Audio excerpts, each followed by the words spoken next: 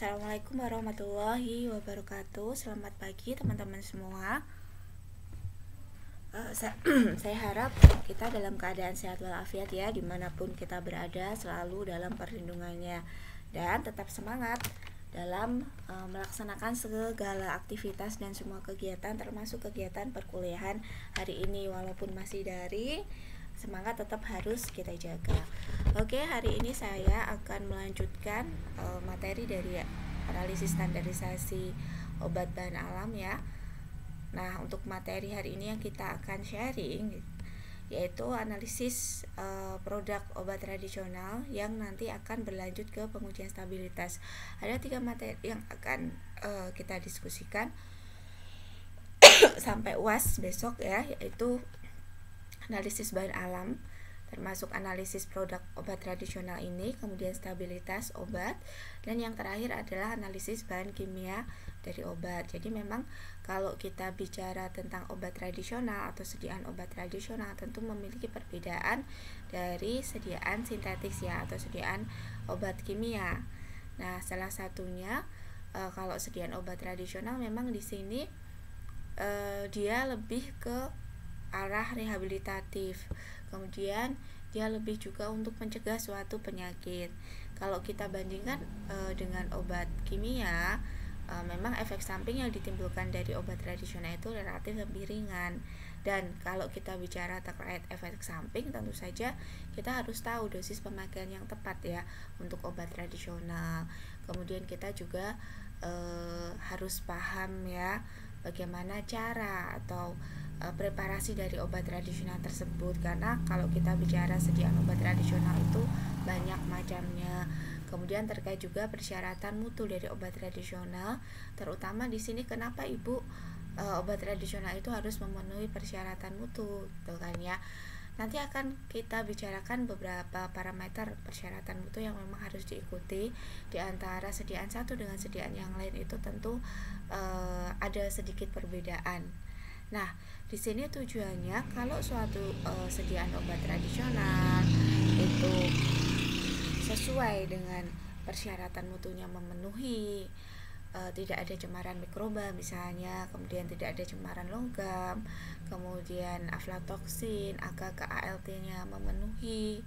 Seperti itu tentu saja keamanan ya. Jadi yang perlu saya garis bawahi di sini adalah keamanan suatu obat kemudian mutu dari suatu obat itu akan terjaga. Di mana persyaratan dari obat yang baik itu dia aman. Selain itu dia bermutu dan juga dia memiliki kualitas. Jadi kalau dia berkualitas saja tapi tidak aman ya tidak sesuai itu kan ya. Atau berkualitas eh, dan aman tapi tidak memiliki efek terapi yang diinginkan sama saja kan. Nah di sini kita akan sharing ya terkait analisis dari e, produk tradisional tersebut. Oke untuk e, analisis obat tradisional produknya obat tradisional kita nanti tidak akan lepas dari peraturan Badan Pengawas Obat dan Makanan nomor 32 tahun 2019 itu adalah peraturan terbaru terkait persyaratan keamanan dan mutu obat tradisional. Jadi memang seperti sudah saya ungkapkan tadi, suatu obat tradisional itu ya tidak hanya obat tradisional ya. Suatu obat itu memang harus bermutu, kemudian aman dan berkualitas. Oke, kita mulai.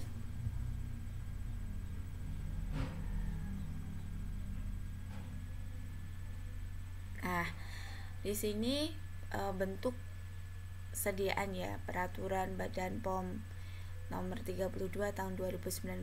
Nah, ini adalah peraturan yang terbaru kalau nanti teman-teman e, buka peraturan perundang-undangannya boleh ya. Jadi di sini peraturan ini biasanya diacu oleh usaha kecil obat tradisional ya UKOT, UMOT dan juga industri obat tradisional. Kita tahu itu kan ya strata atau perbedaan tingkat dari uh, usaha menengah obat tradisional dia paling bawah ya kemudian ada usaha kecil obat tradisional dia di atasnya usaha kecil uh, usaha menengah obat tradisional kalau uh, di atasnya lagi adalah IBA industri ekstrak bahan alam dan paling atas adalah industri obat tradisional. Nah, nanti kita akan membedakan produk atau sediaan yang dibuat oleh uh, industri atau usaha uh, obat tradisional tersebut tentu saja berbeda-beda. Karena memang memang stratanya berbeda-beda ya. Kalau usaha menengah obat tradisional umot dia itu standarnya ya COL cairan obat dalam. Kemudian sediaan yang tapel pilis kemudian apa namanya kalau ukot itu sudah cairan obat dalam atau sediaan sirup ya cairan obat dalam. Kalau e, industri ukotnya mengatakan e, cairan obat dalam Nah, kemudian dia juga boleh kapsul ekstrak ya. Tapi kalau EBA atau industri ekstrak bahan alam, tentu saja dari namanya kita sudah tahu industri ekstrak ya dia dia memproduksi atau produsen ekstrak dari bahan alam. Kemudian yang terakhir industri obat tradisional itu dia boleh membuat semua sediaan termasuk sediaan steril ya. Tapi kalau sediaan steril itu e, terbatas ya. Misalnya uh, suppositoria itu hanya untuk suppositoria yang memiliki efektivitas topikal. Jadi hanya untuk hemoroid atau wasir. Nah ini berbagai macam sediaan uh, obat tradisional ya sediaan obat tradisional. Di mana kita tahu apakah uh, definisi dari obat tradisional review sejenak obat tradisional uh, bahan ya atau ramuan bahan yang biasanya dia berasal dari tumbuhan, kemudian dari bahan hewan, kemudian dari bahan mineral, kemudian dari sediaan sarian atau sediaan galenik ya, sediaan yang disaring atau hanya di e, dengan berbagai metode ekstraksi yang sudah Anda pelajari di semester 4 terkait fitokimia. Kemudian dia juga bisa campuran dari bahan-bahan tersebut, baik dari hewan, baik dari mineral, baik dari tumbuhan yang e, biasanya digunakan untuk pengobatan kemudian dia juga dapat diterapkan sesuai dengan e, norma atau peraturan yang berlaku di dalam masyarakat. Nah, ini adalah definisi dari obat tradisional. Obat tradisional sendiri kita akan klasifikasikan menjadi tiga, yaitu jamu, kemudian secara garis besar ya, ada jamu, ada obat herbal standar atau fitofarmaka. Tapi ada juga yang mengklasifikasikan obat tradisional impor dan juga obat tradisional lisensi ya. E, kalau untuk obat tradisional impor itu e, adalah obat tradisional di mana seluruh proses pembuatan atau sebagian tahapan pembuatan dari dia e, awal ya preparasi bahan baku kemudian sampai dia pengemasan primer itu memang dilakukan di industri di luar negeri kemudian nanti diedarkan di Indonesia. Itu adalah obat tradisional impor. Kalau lisensi itu adalah obat tradisional yang semua tahapan pembuatannya dilakukan di industri obat tradisional yang ada di dalam negeri atas dasar lisensi. Nah, ada yang menggolongkan seperti itu termasuk di peraturan ini ya, peraturan Badan POM nomor 32 tahun 2019 ini. Nanti di dalamnya Anda bisa melihat ya secara detail. Oke kita akan ke persyaratan uh, sediaan. Jadi di sana di sediaan mutu obat uh, bentuk sediaan yang ada di persyaratan mutu obat tradisional yang diatur ya yang diatur persyaratan dan keamanan serta mutu dari obat tradisional itu sediaannya apa saja. Nah yang pertama adalah sediaan galenik. Ya. Sediaan galenik ini biasanya dia ekstrak ya dengan berbagai metode ekstraksi entah itu di perusahaan dia punyanya apa perkolator apa dia dengan macerator apa dia dengan uh, apa namanya soklet, reflux dan lain sebagainya. Nah, biasanya kalau sediaan galenik ini kita sebut ekstrak ya. Ekstrak uh, dia sediaannya kering. Ekstrak itu ada yang buat ekstrak kering ada yang buat kental atau dia ada yang membuat ekstrak cair ya. Dengan dia sudah menyari simplicia baik simplicia nabati dari tanam-tanaman gitu kan ya. Atau hewani ada bu hewani hewani. Uh, biasanya dari cacing atau dari tanaman hewan-hewan kecil yang diambil proteinnya dengan cara yang sesuai caranya apa metode ekstraksinya yang digunakan apa. Kalau kita bicara metode ekstraksi tentu saja tidak lepas dari yang namanya uh, apa senyawa yang ada di dalam sediaan atau dalam simplicia tersebut.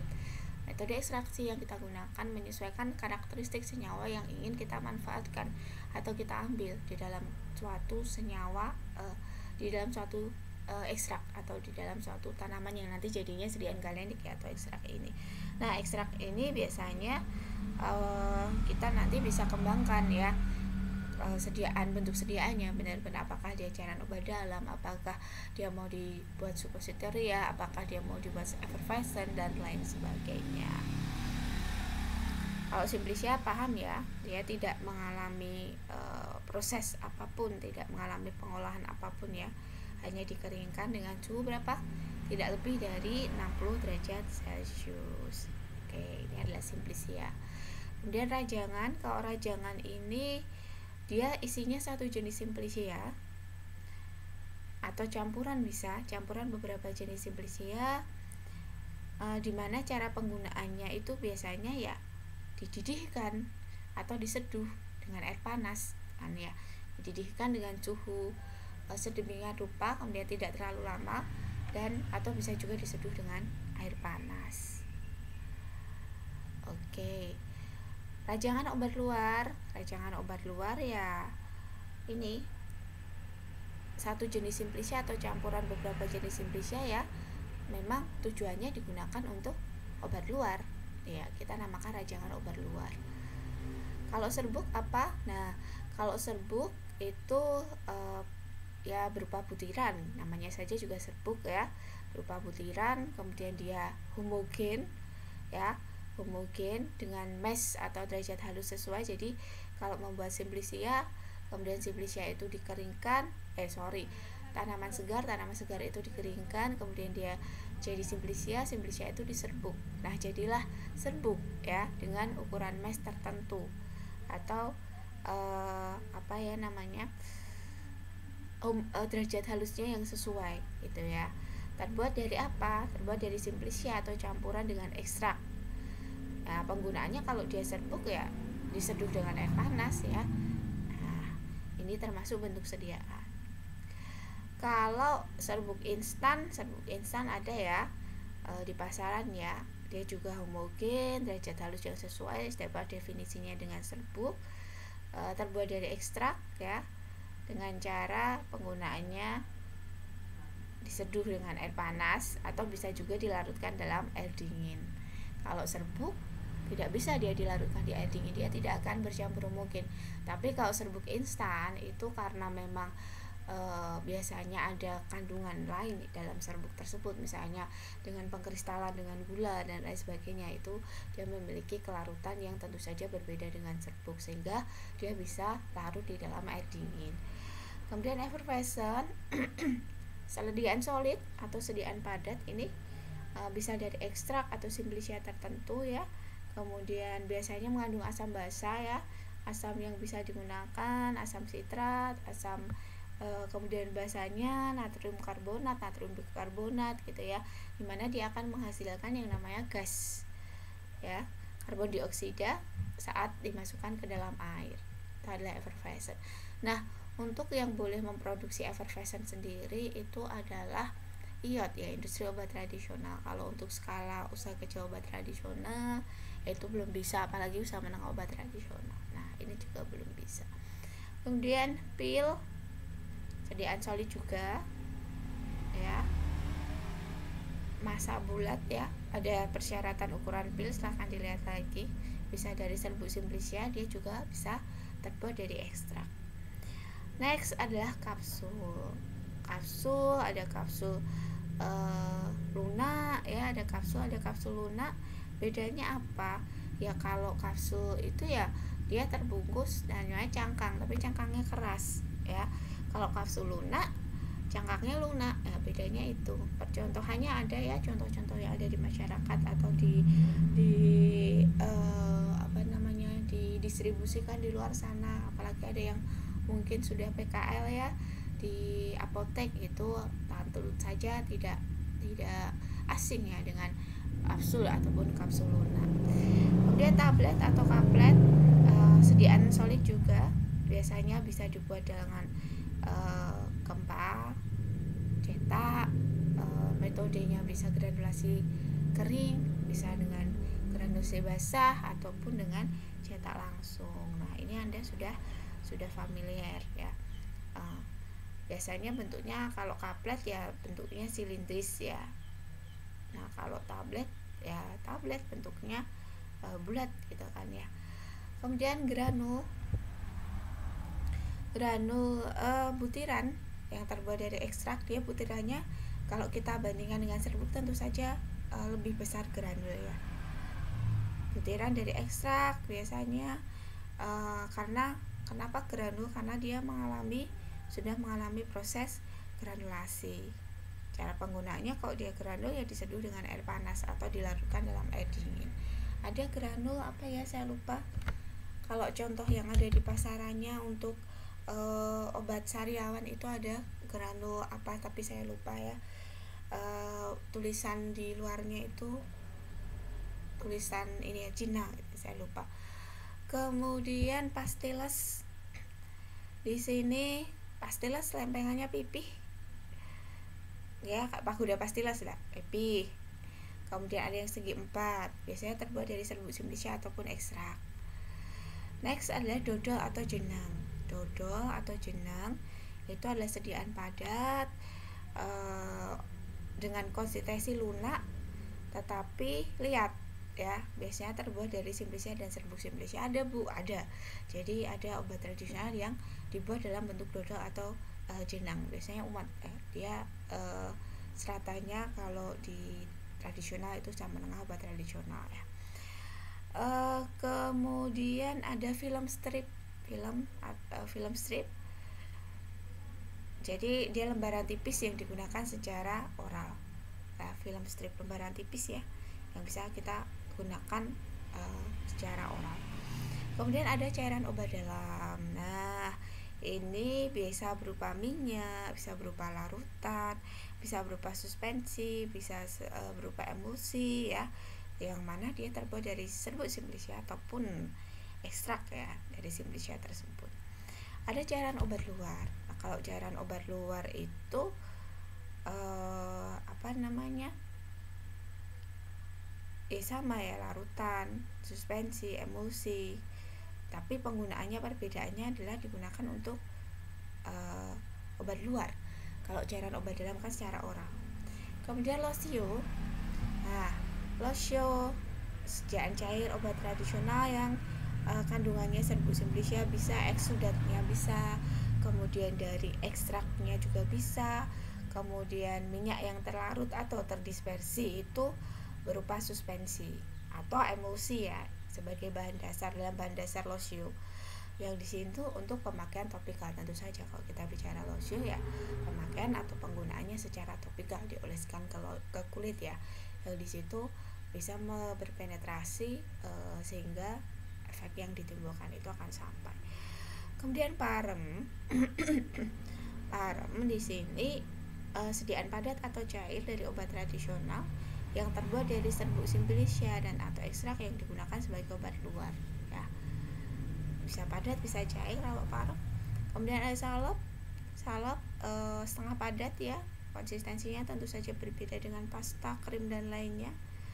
Kemudian sesuai e, terbuat dari ekstrak yang larut atau terdispersi mungkin dalam e, di da, dalam dasar salep yang sesuai dan memang dia ditujukan untuk pemakaian topikal kemudian krim ya setengah padat. Uh, ekstraknya bisa satu atau lebih kandungan ekstraknya yang terlarut atau terdifusasi dalam bahan dasar krim yang sesuai yang memang ditujukannya untuk sama dengan saat ya pemakaian uh, topikal bedanya lagi dengan gel setengah padat ya satu atau lebih ekstrak dan atau minyak yang terlarut uh, dia mengandung minyak yang terlarut juga terdispersi dalam uh, dia punya bahan dasarnya gel dan ditujukan untuk pemakaian topikal juga gitu ya. Next serbuk obat luar. Ya serbuk obat serbuk berarti kan? Berarti sama. Ya butiran kecil homogen derajat halus yang sesuai. Bisa dari simplicia atau campuran simplicia dengan ekstrak ya. Kadang e, cara penggunaannya dicampur dengan bahan cair. Atau bisa minyak bisa air sesuai yang sesuai tentu saja digunakan sebagai obat luar. Kecuali luka terbuka ya nggak boleh luka terbuka. Kemudian ada pilis. Pilis tapel plester itu satu ini ya saudaraan gitu ya. Kalau pilis itu sediaan obat tradisional dari serbu simplicia atau ekstrak eh, sebagai obat luar tentu saja digunakan di dahi atau pelipis biasanya untuk anak kecil atau orang tua dulu kalau dia panas sakit itu ya pelipisnya itu dikasih pilis. Kemudian tapel uh, di perut bedanya. Kalau pilis itu di dahi tapel itu di perut. Kalau plester ya dia melekat dari kulit ya. Uh, biasanya tahan air kemudian obat luar juga ya penggunanya ditempelkan pada kulit itu plester. Jadi ketiganya baik pilis tapel plester itu penggunaannya ditempelkan di kulit. Kalau pilis itu di dahi tapel itu lebih ke perut kalau plester di bagian tubuh kan ya. Oke suppositoria yang boleh e, itu adalah suppositoria untuk basir ya. E, terbuat dari ekstrak yang larut atau terdispersi homogen dalam dasarnya. Suppositoria apa? Biasanya yang sering digunakan atau familiar adalah oleum kakao itu kan ya. Nah kemudian uh, biasanya dia juga memiliki sifat mudah meleleh ya atau melurak melunak ya pada suhu tubuh saat dan cara penggunaannya melalui rektal. Nah, inilah persyaratan. Jadi produk-produk atau bentuk sediaan apa saja yang diatur dalam persyaratan keamanan dan mutu obat tradisional. Oke, kita lanjut ya. Jadi yang ada ini saya coba ringkas dari PRK BPOM nomor 32 tahun 2019. Ini ada apa namanya pengujian ya beberapa pengujian dari sediaan obat tradisional tersebut yaitu organoleptis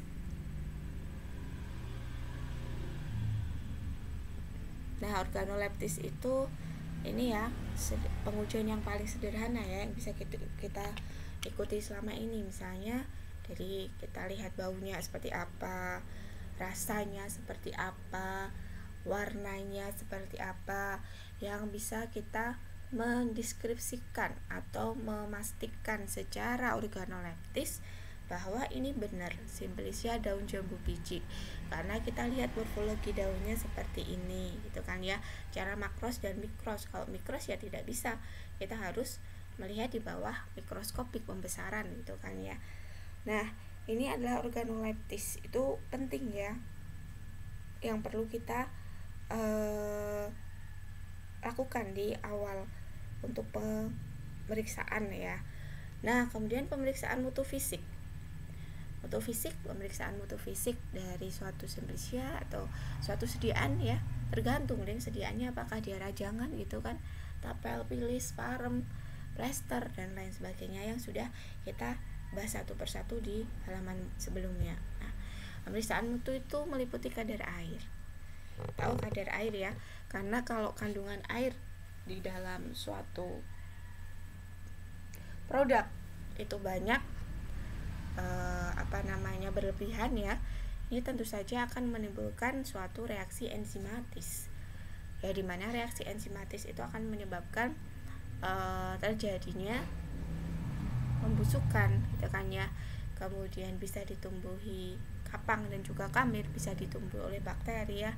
Nah ini air e, jamur apalagi ya. Ini tentu sih saja tidak diinginkan. Jadi memang persyaratan terkait kadar air gitu ya itu e, diperlukan sekali ya. Kemudian keseragaman bobot dan juga volume terpindahkan. Kalau kita bicara keseragaman bobot tentu saja tidak lepas dari kapsul kemudian tidak lepas juga dari tablet itu kan ya. Kita ambil saja berapa tablet e, yang akan kita hitung keseragaman bobotnya atau berapa kapsul yang akan kita hitung. Kalau sesuai dengan persyaratan yang ada Farma Kope Indonesia edisi 3 dan juga edisi 5 di situ tercantum bahwa kalau untuk pengujian keseragaman bobot itu e, tablet yang kita gunakan sekitar 20 gitu kan ya. Kemudian kalau kita bicara lagi volume terpindahkan itu lebih ke sediaan cair ya. Baik sediaan cairan obat dalam gitu kan ya, khusus pensi, emosi dan lain sebagainya. Gitu kan ya kalau di sini di peraturan BPOM nomor 32 2019 itu ya lebih ke apa namanya cairan obat dalam. Kemudian waktu hancur. Nah, waktu hancur itu perlu sekali untuk melihat sejauh mana uh, obat itu akan hancur di dalam tubuh kemudian kapan dia akan menimbulkan efek terapi nah ini perlu uh, juga kita tahu kemudian ada cemaran mikroba itu ada angka lempeng total sudah pelajari angka kapang dan juga kamir di situ terkait juga dengan uh, fermentasi ya kemudian E. coli tidak boleh ada E. coli-nya ya karena dapat menyebabkan diare dan hal-hal yang uh, tidak baik lainnya kemudian Enterobacteriaceae Clostridia Salmonella Shigella dan juga aflatoxin total nah nanti kita akan lihat apakah e, cemaran mikrobanya ini persyaratan dari cemaran mikroba yang harus diikuti oleh yang punya usaha itu kan ya kalau dia e, pengen melaksanakan apa namanya registrasi produk sampai mendapatkan izinnya itu harus memenuhi parameter dari uh, mutu produk tersebut. Nah, ini salah satunya. Kalau cemaran lain itu ada logam berat dan bahan kimia obat. Logam berat PB, Hg, AS itu adalah logam berat itu kan ya. Kemudian bahan tambahan juga diatur pengawet yang diperbolehkan pewarna yang diperbolehkan apa pemanis yang diperbolehkan antioksidan dan jaga bahan tambahan lain yang ada atau termaktub ya uh, dalam RKB POM ya tahun 2019 ini ya jadi jelas uh, kenapa? Jelas karena diinginkan APC uh, eh, kalau kita bicara uh, apa namanya? Apoteker gitu kan ya. Dari suatu industri obat tradisional atau ukot mod itu dia akan melakukan perizinan suatu produk. Jadi badan pom itu memiliki wewenang untuk mempersetujui tidak suatu produk itu dikeluarkan e, perizinannya. Karena apa? Karena ya e, harus kalau dia sudah sampai e, keluar ke pasaran itu kalau dia tidak memenuhi persyaratan nah itu berbahaya sekali contohnya misalnya dia ada e, kandungan E. coli yang sangat banyak nah itu tentu saja akan merugikannya bagi konsumen sendiri. Nah, kemudian untuk sediaan cair biasanya dilengkapi pengujian pH, biasanya pH-nya pH sesuai tubuh kita ya. Kemudian bobot jenis, kadar alkohol dan juga metanol. Ini adalah nanti yang perlu Anda siapkan ya. E, kalau mau melakukan registrasi terhadap obat tradisional, semua harus terpenuhi.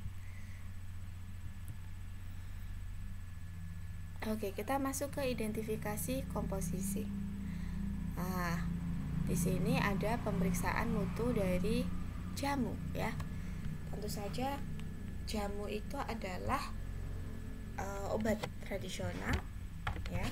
Jamu adalah obat tradisional yang di situ hanya berdasarkan pengalaman empirik atau turun menurun ya. Kalau kita bandingkan dengan obat herbal terstandar, kita bandingkan juga dengan fitofarmaka ya tentu saja akan berbeda gitu kan ya nah uh, untuk jamu sendiri dia hanya berdasarkan ini ya empiris jadi pengalaman turun temurun tentang khasiat dan juga manfaat dari uh, simplicia yang digunakan dalam sebagai bahan dasar atau bahan baku dalam suatu sediaan obat tradisional nah di sini uh, kalau untuk OHT tentu saja beda. Kalau OHT kita ulang lagi dia untuk ini ya um, diuji juga secara praklinis ya. Uh, kemudian untuk bahan uh, bakunya harus terstandar. Kalau untuk jamu tidak. Bedanya dengan fitofarmaka itu bahan baku dan produk jadi harus sesuai dengan standar.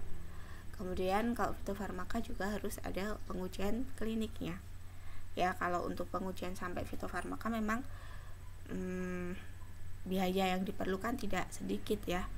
Dan PR-nya sekarang mungkin kemarin ada yang ini ya mengikuti uh, atau update ya update update uh, peraturan terbaru atau update terkait apa sih pengujian-pengujian terbaru itu ya kalau pengujian uji klinik sendiri memang biayanya uh, tidak sedikit dan kalau dia sudah beredar di pasaran itu kadang-kadang kalah saing ya dengan obat kimia. Contoh fitofarmaka yang ada di pasaran apa? Uh, stimuno gitu ya. Kemudian tensikat dan lain sebagainya lelap, nah imodiar dan lain sebagainya. Nah, di situ kalau kita bicara fitofarmaka memang harganya tinggi. Nah, kadang kalah bersaing dengan sama-sama e, memiliki efek terapi yang sama tetapi harganya jauh lebih rendah kalau obat obat kimia ya tapi memang kalau pengujian uji klinik itu yang memang biayanya mahal dan di sini Vito kalau dia sudah e, lolos uji klinik kan berarti dia e, apa namanya sudah sesuai ya tapi inilah masih dilema untuk sekarang makanya untuk sediaan fitofarmaka tersebut dari pemerintahan dipergiat lagi gitu kan ya untuk apa namanya supaya bisa bersaing ya dan banyak sediaan yang muncul. Oke, kita kembali ke jamu ya. Jadi kalau jamu itu harus uh, prinsip dari pemeriksaan mutu dari jamu itu harus dia mampu mengidentifikasi kembali simplicia dalam ramuan jamu atau analisis kualitatif ya. Analisis kualitatif pada sediaan jamu bisa kita lakukan uh, dengan ini apa namanya screening fitokimia atau uji tabung dan juga dengan kromatografi lapis tipis ya jadi untuk melihat golongan dari senyawanya itu apa kandungan senyawa kandungan senyawa golongan kandungan senyawa yang ada di dalam uh, simplicia tersebut kemudian kedua menetapkan jumlah dari masing-masing simplicia penyusun jamu. Nah analisis kuantitatif jumlahnya. Kalau kita bicara kuantitatif itu ada berapa ukuran jumlah atau uh, istilahnya ada ininya berapa kuantitatif ya kadarnya ya. Jadi suatu uh, senyawa dalam suatu simplicia nah kalau pemeriksaan mutu misal kita mau jamu rajangan jamu serbuk jamu ekstrak ya secara makros mikros kimiawi. Makros mikros kimiawi. Kalau di sini uh, jamu serbuk kalau dari hasilnya ini apa namanya uh, dianalisis ya makrosnya positif cross sesuai kimiawinya juga dianalisis. Nah di sini. Kalau jamur rajangan kemudian cara analisisnya kalau makros ya makros ya. Kalau makros itu kita melihat apa sih morfologi dari tanaman tersebut ya. Uh, bentuknya seperti apa? Oh bulat telur. Oh lonjong. Itu adalah makros. Kalau mikros ya melihat fragmen pengenal. Misalnya dalam tanaman jambu biji kemarin ada stom stomata nomositik gitu kan ya. Itu adalah fragmen pengenal uh, yang memang apa istimewa pada daun jambu biji tersebut. Kemudian kimia kimia ya set identitasnya kalau ini yang belum diketahui bisa dicari gitu kan ya. Kemudian dipakai untuk AKK jamu rajangan jamu serbuk jamu instan angka e, kapang kamir itu perlu dilakukan analisis ya. Analisis untuk COL COL juga perlu dianalisis ya e, tidak berarti cairan obat luar dia tidak low risk dia resikonya rendah berarti tidak diuji tidak. Jadi tetap diuji minimal AKK ALT tapi kalau untuk COL yang e, apa namanya dia untuk luka harus e, diuji antibakterinya juga ya. oke. Oke kita ke kadar air sebentar. Kadar air namanya kadar air ya asal air ya pada produk atau kandungan simplicia nah uh, biasanya air ini bisa didapat dari mana? Ya dari simplicianya itu sendiri. Kandungan dari simplicanya itu sendiri ya. Itu adalah kadar air. Kemudian ada penyerapan air pada saat produksi atau penyerapan pada saat produksi. Jadi saat produksi uh, itu misalnya uh, di ini ya dicuci dikeringkan. Nah saat dicuci dia basah saat pengeringan dia tidak maksimal itu ada penyerapan ya pada saat itu. Kemudian penyerapan uap air dari udara saat peredaran nah ini bisa saja terjadi ya. Kemudian batasan kadar air. Batasan atau persyaratan kadar air yang disebutkan di situ ya sediaan padat obat dalam dan juga obat luar kalau dia sediaan padat yaitu kurang dari 10% kecuali effervescent itu kadar airnya kurang dari 5% karena apa? karena memang uh, higroskopis sekali. Kalau untuk sediaan effervescent kita bahkan membuat sediaan obat effervescent itu kalau di industri dia ada ruang sendiri yang RH nya saja diatur kelembapannya diatur. Kemudian langsung dibungkus dengan aluminium foil gitu kan ya. Karena memang di sini dia memiliki uh, higroskopis tadi ada asam basahnya tadi ya.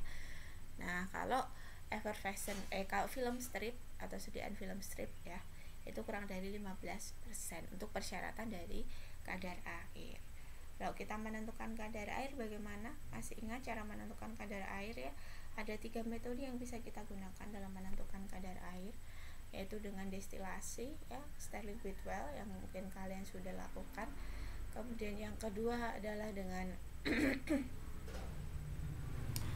uh, apa titrasi. Yang ketiga adalah apa namanya gravimetri gravimetri kita bisa menggunakan oven gitu kan ya oke selanjutnya adalah waktu hancur Nah, senyawa itu dapat diserap tubuh jika senyawa tersebut terdapat dalam bentuk larutan.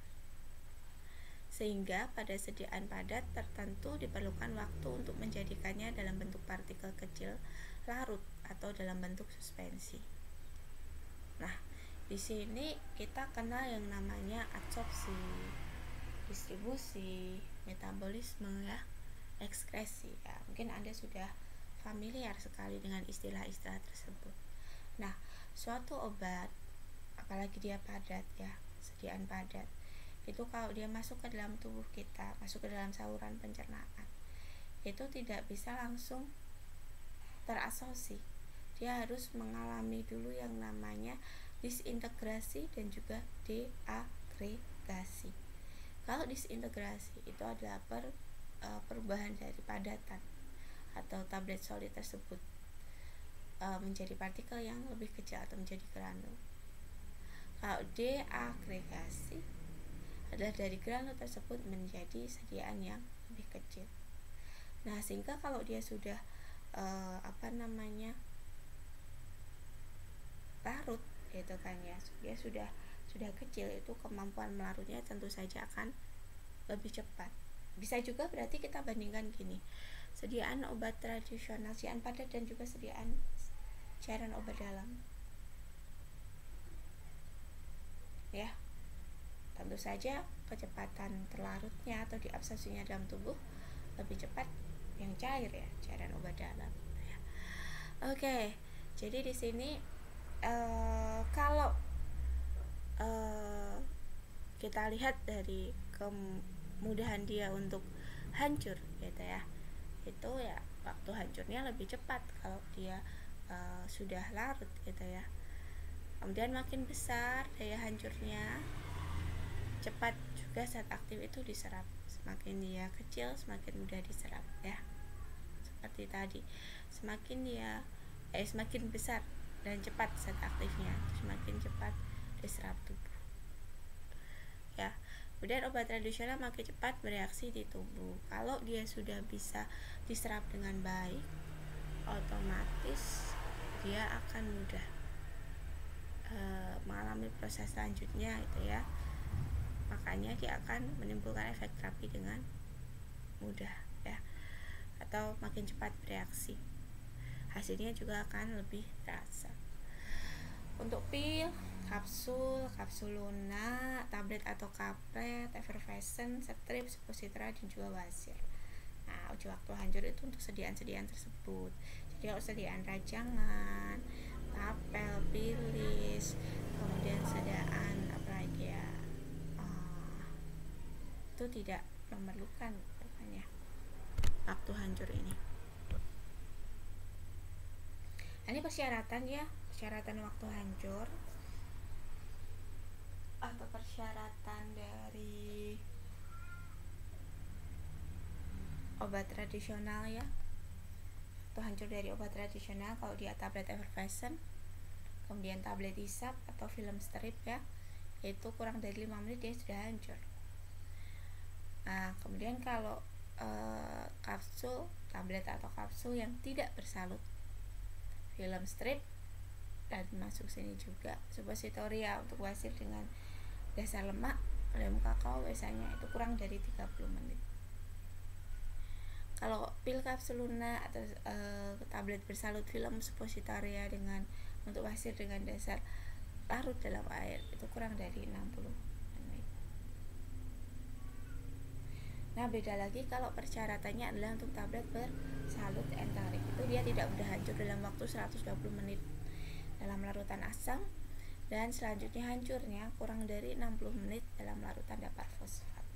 Karena ini ada salutnya. Ya salut enteriknya di mana dia ditujukan kalau menggunakan salat itu lepasnya bukan di lambung tapi di usus. Ya. Jadi dia tidak rusak oleh adanya asam lambung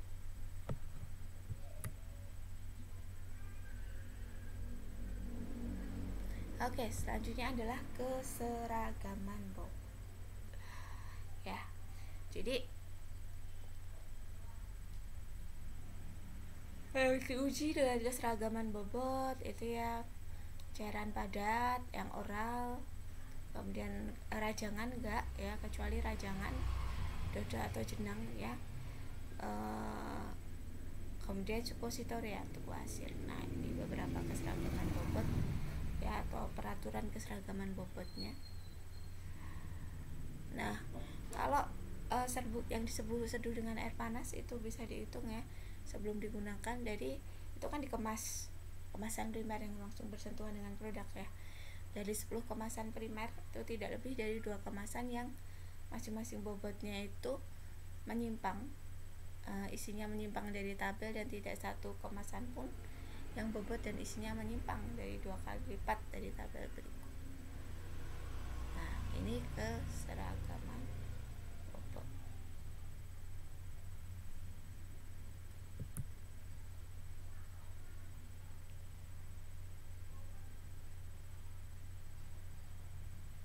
selanjutnya adalah serbuk instan atau effervescent serbuk atau granul serbuk ya atau granul sorry granul itu bukan serbuk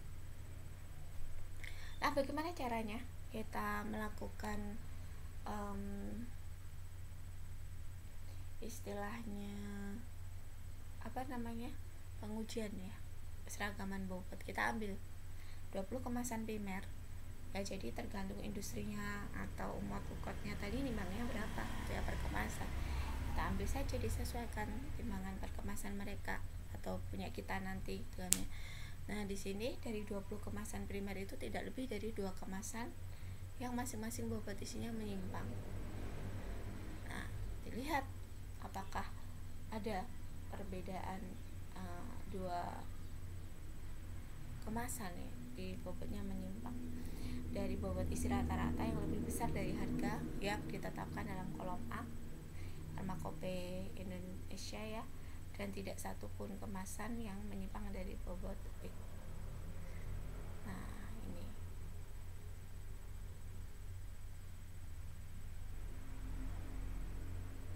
Daftarnya di bawah ya.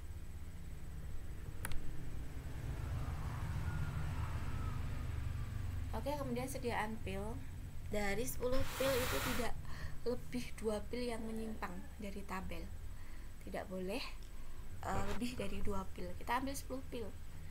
Serat. dari banyaknya pil yang diproduksi misalnya 1000 pil. Itu produksi 1000 pil. Nah kita cukup ambil uh, 10 pil. Nah dari 10 pil itu kita timbang. Nah tidak boleh dua pil bobot dua pil itu menyimpang dari tabel. Dan tidak satu pun yang menyimpang dua kali lipat dari tabel tabel yang kita gunakan untuk kita jadikan acuan kalau bobot rata-rata pilnya kurang dari 50 mg berarti penyimpangannya e, kalau kita timbang 10 pil itu tidak boleh lebih dari 12% begitu juga kalau bobotnya 50 sampai 100 mg penyimpangannya 11% begitu seterusnya itu kan ya. Itu adalah pil. Oke okay, next bagaimana untuk kapsul? Bagaimana untuk kapsul lunak? Ya untuk kapsul yang berisi obat tradisional kering apa itu bu? Serbu misalnya isinya. Atau ekstrak tapi ditambah bahan tambahan lain. Supaya nanti ekstraknya jadi kering gitu kan ya. Nah dari 20 kapsul itu tidak boleh lebih dari 2 kapsul di mana masing-masing bobot isinya itu menyimpang. Dari bobot isi eh, masing-masing uh, rata-rata yang lebih besar dari 10% dan tidak ada satu kapsul pun yang bobot isinya menyimpang dari rata-rata lebih besar dari 25% nah ini ya perlu diperhatikan. Jadi untuk kapsul yang berisi obat tradisional cair ya itu yang padat. Kalau yang cair biasanya soft kapsul berarti kalau isinya cair itu tidak boleh lebih dari satu kap uh, lebih dari satu kapsul yang masing-masing bobot atau isinya itu penyimpangannya itu 7,5 persen ya dan tidak satu kapsul pun yang bobot isinya menyimpang dari bobot isi rata-rata lebih besar dari 15 persen untuk persyaratan antara kapsul dan kapsul lunak harus jadi di sini harus bisa membedakan ya mana kapsul mana kapsul lunak kan ya Oke. Okay. Kita ke tablet kaplet, tablet Tisa Pastilles, tablet Evervision. Ya, di sini sama.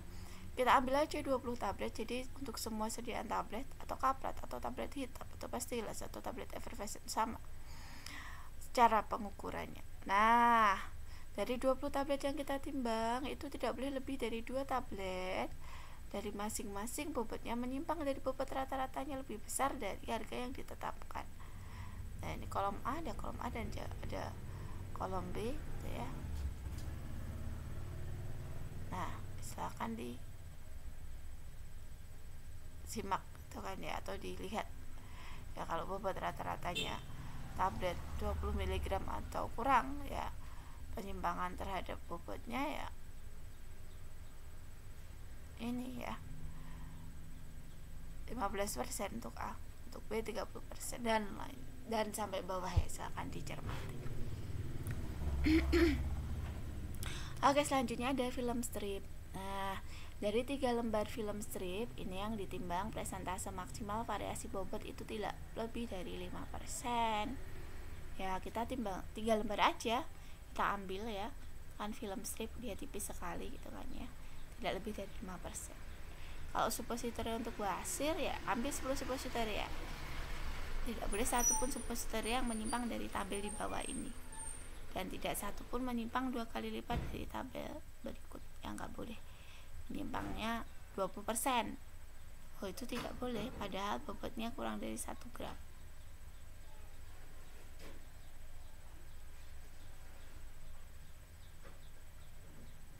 Nah di sini yang perlu kita perhatikan hitungannya. Jadi kalau berat rata-ratanya kurang dari 1 gram penyimpangannya ya 10% kalau 1 sampai 3 gram ya 7,5% kalau lebih dari 3 gram ya? 5% ah, penyimpangan bentuk ya.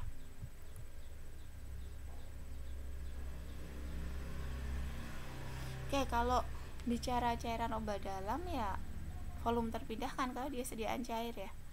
Bukan ke uh, bobot lagi, tuh kan ya. Ada yang pernah melakukan cairan e, volume terpindahkan ya? Kita ambil 10 wadah ada wadah gelas yang berukur atau gelas ukur kita bisa gunakan ya. Kemudian e, kita tuang-tuang saja di wadah tersebut gitu kan ya.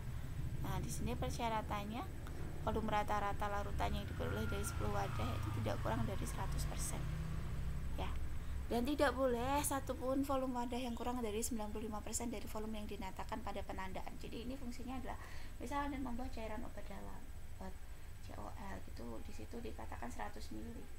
Tapi setelah diuji volume terpindahkan loh kok penyimpangannya besar? Ada yang 80 mili 5, uh, apa 70 mili. Itu nggak nggak boleh gitu kan. Berarti tidak sesuai dengan penandaan.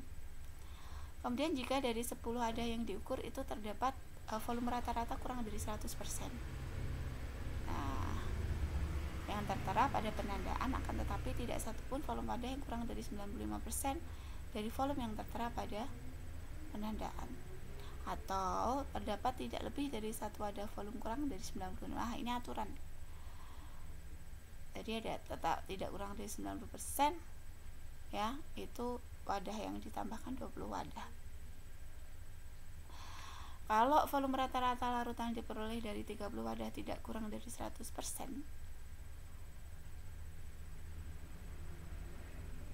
nah itu bagaimana? Ya.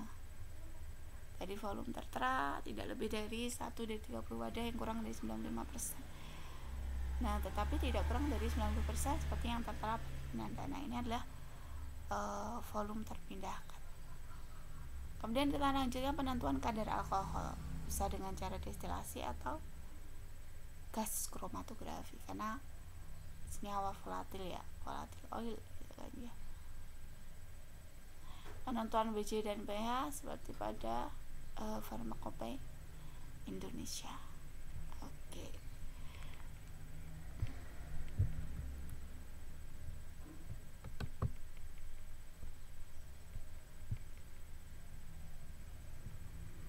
Ini untuk part pertama. Kita sampai ke